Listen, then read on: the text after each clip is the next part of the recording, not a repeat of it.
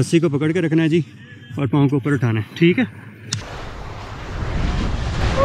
नारान पहुँचने के बाद एक ट्रैवलर की सबसे बड़ी अट्रैक्शन झील सैफुल मलूक होती है और वहाँ पहुँचने के लिए आपको बहुत ही खतरनाक रोड के सफ़र का एक्सपीरियंस करना पड़ता है।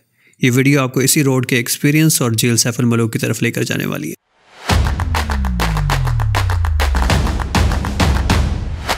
झील तक पहुँचने के लिए जिस रास्ते से गुजरना पड़ता है, उस पर गड़े और पत्थर मौजूद होने के साथ साथ ख़तरनाक चढ़ाई भी है, जो आप किसी आम गाड़ी या फोर व्हील ड्राइव से पार नहीं कर सकते। बल्कि उसके लिए आपको वहाँ से स्पेशलाइज तैयार करदा जीप रेंट पर लेकर जानी पड़ती है।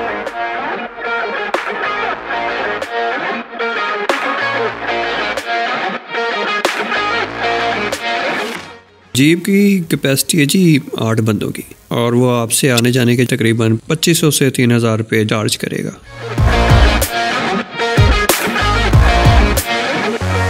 आठ बंदों की कैपेसिटी तो है, लेकिन अगर आप आठ बंदों की कैपेसिटी फुल करेंगे, जैसे हमने की तो आप जो है फुल पैक होकर जाएँगे।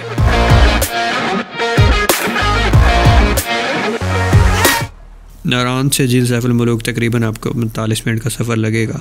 और आपका ये यादगार सफ़र आपको नारान से दस हज़ार पाँच सौ अठहत्तर फीट्स की बुलंदी पर लेकर जाने वाला है।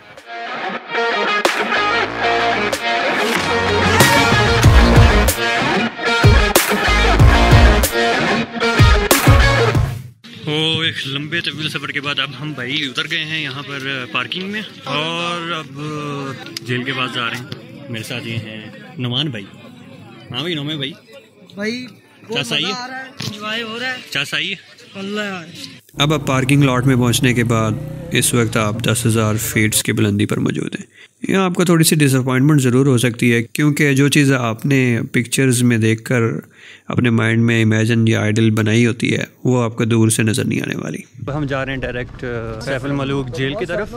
जब आप ऊपर आ रहे होंगे ना एक दफ़ा तो आपने कल में ज़रूर पढ़ लेना है तोबा ज़रूर हो जानी है आपकी उसके बगैर आप ऊपर नहीं आ सकते। इस तरह का ट्रैक था। ट्रैक बहुत गंदा ट्रैक है लेकिन आके यहाँ पर सारी थकावट दूर हो जाती है। भाईजान फ़िलहाल तो नीचे जाके दो मिनट के लिए स्टे करना है और आँखें घुमानी है इधर उधर हाँ, और इतना हम खजल खराब हुए हैं। अब कुछ अच्छा लग रहा है। जैसे जैसे नीचे आ रहे हैं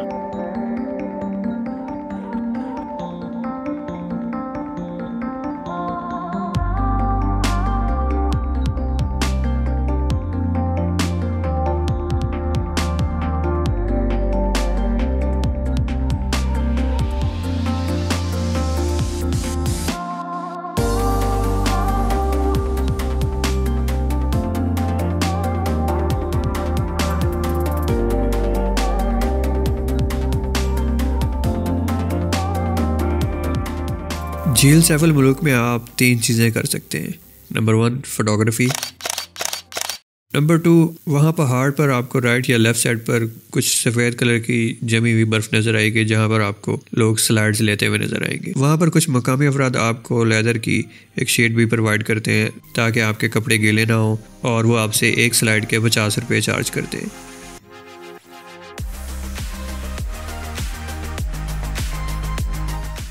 रस्सी को पकड़ के रखना है और रस्सी को पकड़ के रखना है जी और पाँव को ऊपर उठाना है, ठीक है?